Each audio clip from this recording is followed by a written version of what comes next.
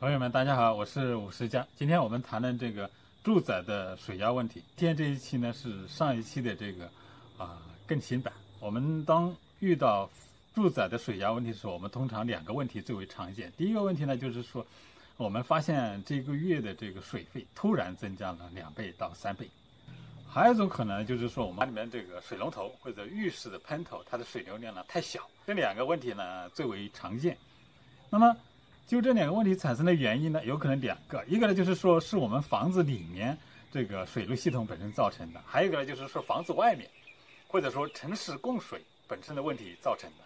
那么今天呢，我们呃讨论的重点呢，主要是呃房子外面的问题。我们今天要回答几个问题呢？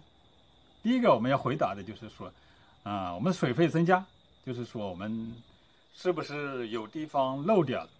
第二个要回答就是说，我们要知道这个我们的水表是不是正常的？有可能我们水表本身就坏掉了，是吧？第三个我们要回答就是怎么知道我们这个水压是正常的还是不正常的？嗯，所以今天呢，我就跟大家演示一下这。所以现在大家看见的录像呢，就是说把这个水表的盖子揭开，大家可以看见什么呢？大家看见了这个一个呢是啊左面的水表，对吧？右面一个阀门。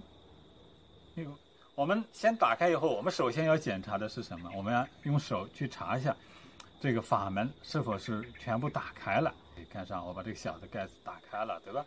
小的盖子呢，读数呢分两个部分，前面的这个四位数是零八幺六，它的单位呢是吨，也就是说千升。后面的这个三位数幺三六是红字，幺三六红字，它的这个单位呢是升，升。呃，最后一个是这个。啊，有个小的刻度的，可以最精确的达到零点一。水到我们每个房子里面有没有漏掉？我们怎么办呢？我们首先要做的就找一个时间，比如说周末的时候，当就是说没有人用水了，包括厕所什么饮用水都不用了，所以你开始之前呢，去读一次表。好，你就现在算时间，等两个小时以后呢，如果这个读数基本上是没有变的，那么证明是没有水漏的，对吧？如果有水漏掉的话，那个毒素肯定就会。嗯，增加的，这是最基本的办法。第二个我们要做的就是说，我们要看水表准不准，是吧？开始呢读一个数，然后呢把你们家的这个浴缸、就浴池，就是 bathtub，然后腾空，准备放水。那么我们这个家里面的浴缸一般体积是多少呢？通常呢是二百五十到三百升。那像我家里面呢是二百七十升的浴缸。呃，一般说呢，那我们呃所有用的这个浴缸呢，跟我们的住宅形式，比如说你住在 apartment 或者住在豪宅里面，确实不一样。最小的浴缸呢有一百五十升的，最大的浴缸像 standby 的有四百升的。所以呢，就是说，首先当然你应该知道你那个浴池的体积是多少，这样你去看你的水表，啊，在放前或放后，它读数的差距是不是等于你这一个浴缸的这个容量？嗯，所以呢，就是说这样怎么样验证你的水表呢？是不是这个正常的？这是第二个问题，我们就给出了这个正确的这个回答。我就想知道自己家里面的这个水压究竟是正常还是不正常呢？所以这个第三个问题，水压是否正常？我给出三种方法。第一种方法最简单，定性的方法。这方面来讲，这水冲力很大，是吧？你再用水手去感觉一下，它是不是冲你的手冲的压力很大，是吧？你再用手背去感觉一下，压力也是很大。是吧？这个压力高、压力低是相对的。那么你和水比呢？居之间左右邻居之间的水压应该是相同的。这是给你一个定性的、非常粗略的方法来检验你家里面水压是否正常。第二个方法用什么呢？我跟大家看一下，因为这个水桶，这个水桶它的这个特点呢，就是说这个水桶必须里面有刻度的，对吧？我们每一次量多长时间呢？通常量十秒钟。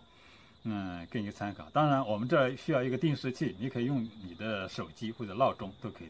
好，我们的这个水龙头已经打开了，对吧？是。好，我们第一次开始量这个过程。嗯。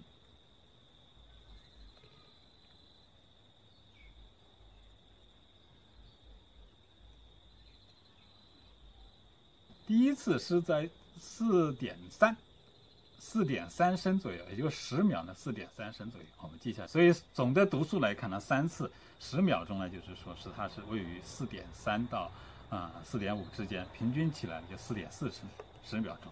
这样我们就可以知道一个流量了。那么我们知道这个平均起来三次，也就是说每十秒钟呢，它的流量是四点四升啊。那么就是说每一分钟呢，相当于是是二十六点四嗯升。City 标准的 city 供水是多少？它要求对我们每家每户的这个供水量呢，是在啊每分钟的二十五升左右。一般呢不会低于每分钟二十五升左右。那么再低呢，也不会低于每分钟二十升的这样一个供水量。如果这个供水量太低呢，嗯，显然就是供水量太小，或者说我们说水压太小，对吧？这是第二种方法，也就是说我们水流量方法，我们采用一个简单的一个定时器或一个呃水桶来量的方法。我们还有一个种方法是什么？我们直直接测这个水压，我们用水压表来测水压。先把这个水龙头上面的这一一个。小的这个喷头呢，先把它旋下来，对吧？好，旋下来以后呢，我就把我的这个水表呢接上去。好，我这个水表有个黑的，它有一个 adapter 接小管的。我首先呢把这个黑颜色的这个拿掉嘛，这样我就可以接上去，对吧？如果你是小管的，刚好呢就接上去，刚好了，对吧？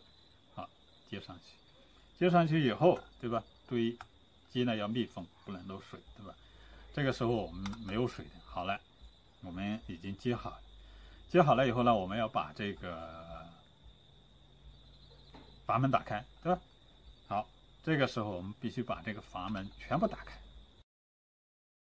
一个四位四百 kVA 的，那么外圈呢是 PSI 是多少呢？是五十六、五十七。我们测得的结果是什么呢？是这个四百 kVA，五十七 PSI 这样一个。那么这个压力是偏高偏低，那么还是刚好呢？城市供水到我们每家每户，它的标准值应该是在这个三百五十加减五十，这样呢是非常标准的。如果你的读是五十加减五 psi，那么也是标准的。如果你这个读数读出来是两百 kPa，或者低于两百 kPa，或者是说低于三十个 psi，就表明你的。供水的水压太低了。如果你读数读出来，你的压力是超过了五百五十 kPa 的八十 psi 呢，证明压力就太高了。这就是我们今天视频的主要内容。谢谢你的收看，我们下次见。